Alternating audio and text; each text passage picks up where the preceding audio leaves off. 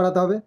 তো ছেলে তো আমার কাছে সারা ঘুমাতে চায় না। মার কাছেও থাকে, তবে আমার কাছে রাত্রিবেলায় গলা জড়িয়ে না ধরলে ঘুম হয় না ওর, আর পিঠে সুসুরি না দিলে।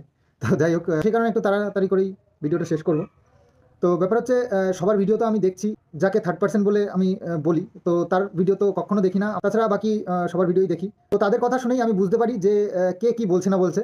তো যাই হোক, যত বদনাম রটাবে বা যত নোংরামি আমার দিকে ছড়াবে, ততই আমার আমি মনে করি আমার উন্নতি হবে। আমার আমি আরও উপরে উঠবো।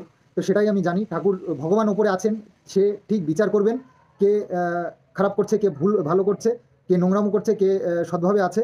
তো সেসব বিচার করে ভগবান ঠিক তাকে দেখিয়ে দেবেন। তো তার থেকেই বোঝা যাবে যে কে ভুল কে ঠিক। আর তারা আমরা সবাই দেখতে পাবো আশা করছি। এই হচ্ছে কথা। আর হ্যাঁ চ্যানেলের উপরে লিগ্যাল স্টেপ যে নিয়েছে তো এটাতে আমি মনে করছি ছেলের ভবিষ্যৎটাকে কানা করবার জন্য উঠে পড়ে লাগা। এটা ছাড়া কিছুই না। তো তিনটে মাথা এখানে কাজ করছে। এক তো নিজে তাছাড়া তার একজন সঙ্গী তার সঙ্গী আর তাছাড়া আছেন একজন থার্ড পার্সেন্ট তে সে। তো তিনটে লোক মিলে গট আপ করছে আমার ছেলেটার সং মানে ভবিষ্যৎটাকে নষ্ট করবার। এই তিনজনের মধ্যে লাভবান দুজন হবে আর আরেকজন কিন্তু আর আরেকজন কিন্তু সারা জীবন পস্তাবে যদি ছেলেটার কোনো ক্ষতি হয়ে যায়।